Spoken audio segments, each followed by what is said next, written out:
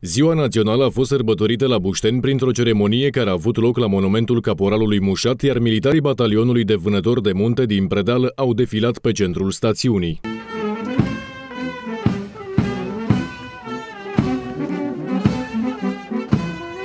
Aglomerația a fost și în gara stațiunii, unde trenul regal plecat de dimineață din Sinaia a poposit pentru câteva minute. Altețele lor principesa moștenitoare Margareta și principele Radu au coborât pe covorul roșu în mijlocul celor câtorva sute de persoane.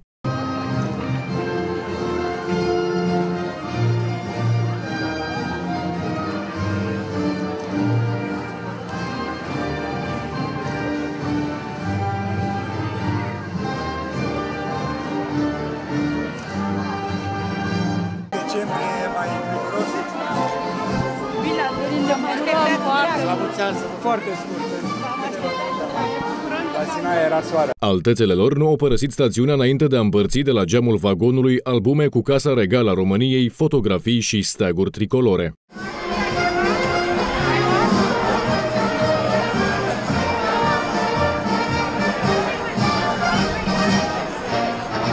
Abia am ajuns acolo, l-am văzut. L-am văzut, i-am văzut, dar